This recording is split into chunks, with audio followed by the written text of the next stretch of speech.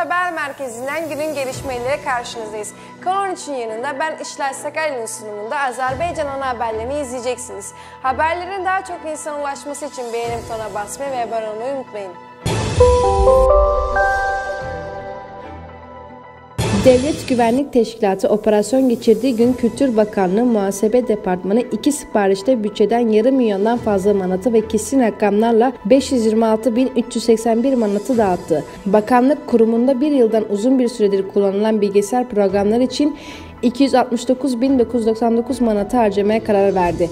Bakanlığın bu zor günlerde müze ve fon binalarındaki klima, havalandırma, ısıtma, sıcak ve soğuk su temin sistemlerinin teknik bakım harcamaları da dikkat çekicidir.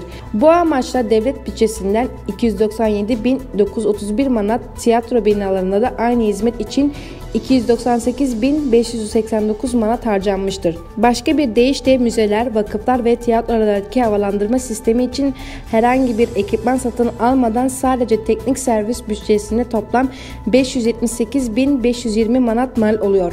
2020 için Azerbaycan Cumhuriyeti devlet bütçesine ilişkin yasaya göre kültür, sanat, bilgi, beden eğitimi, gençlik politikası ve diğer benzer faaliyetler için 441 milyon 920 bin 500 manat tahsis edilmiştir. Bu fonların 178 milyon 714 bin 885 manatı kültür ve sanat alanlarındaki faaliyetlere 156 milyon 180 bin 776 manat ise kültür, sanat, bilgi, beden eğitimi, gençlik politikası alanındaki diğer girişimlere ve etkinliklere harcanabilir. Yani Kültür Bakanlığı bölümüne toplam 334 milyon 895 bin 661 manat verildi. Organizasyon bu parayı yıl sonuna kadar İstanbul'daki Topkapı Sarayı kompleksindeki Azerbaycan evinin sanatsal tasarımından bölge merkezlerindeki kurtarılışları doldurma hizmetine karar harcayabilir. Azerbaycan evinin sanatsal tasarımından bölge merkezlerindeki kartuşları doldurma hizmetine kadar harcayabilir. Son iki gün içinde sokakta karantina karakolları, polis ve askerlerin iç askerlerin sayısı azaldı. Peki 31 Mayıs'ta Azerbaycan'da iç trafiğe izin verilebilir mi?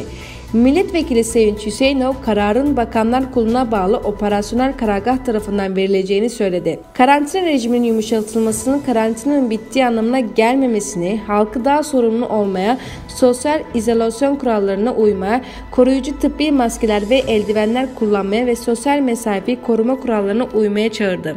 Dün 104 kişinin koronavirüse bulaştığını söyleyen Sevinç Hüseyinov, bu büyümenin sebebi insanların bu hastalığı önemsemediklerini de buldu.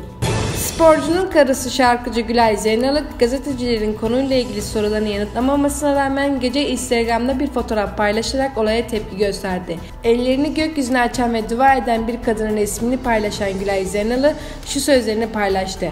Kalpleri gören ve onları ödüllendiren Tanrı'dır. Senin o insanın ne çektiğini bilmediğin halde o insanın hangi yükü taşıdığını yorgun düştüğünde ona yolun sonunda güç veren Allah'ın olduğunu belirtti. Sonunda ise Tanrı dualarımızı kabul etsin ifadelerini ekledi. İzleyiciler ise yakında sporcunun serbest bırakılması için dua ettiklerini yazdılar. Hatırlatalım ki Kamil Zeynal'ı dün Nerimanov Bölge Mahkemesi tarafından 10 gün boyunca karantina kurallarını ihlal ettiği için tutuklandı. Mənə deyirlər ki, Kamil, səni bir gün tutacaqlar. Hə, tutsunlar, cəhənnəmə tutsunlar. Tək məni belə bir şeyə görə tutsunlar ki, deyir, niyə belə şeylər danışırsan? Niyə məmurların adını çəkirsən? Hə, niyə çəkməyim? Bu yaşayışlı, belə bir şey olar, buna baxın.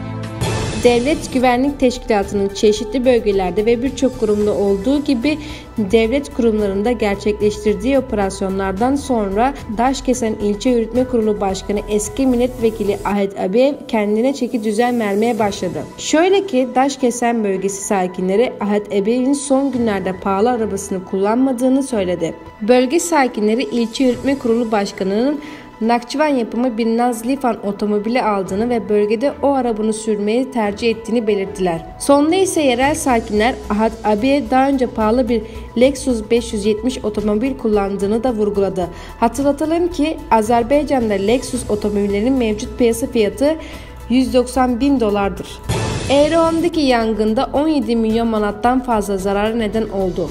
Başsavcılık basın mensuplarından yapılan açıklamada geçen yıl Eyrom'da çıkan yangının vatandaşlara 17.46 milyon manat maddi zarar verdiği tespit edildiği bildirildi. 10 Aralık 2019'da Acil Durumlar Bakanlığı Operasyonel Soruşturma Departmanı'nın alışveriş merkezinde çıkan yangına ilişkin 128 kişiye ait mülklerin yıkılmasıyla sonuçlanan bir soruşturma başlattığı belirtildi. Vatandaşlara değmiş 17 milyon 460 bin manat maddi hasarın ise 13 milyon 796 bin manatının tazminatı sağlandığı belirtildi. Vatandaşlara değmiş 17 milyon 460 bin manat maddi hasarın ise 13 milyon 796 bin manatının tazminatı sağlandığı belirtildi.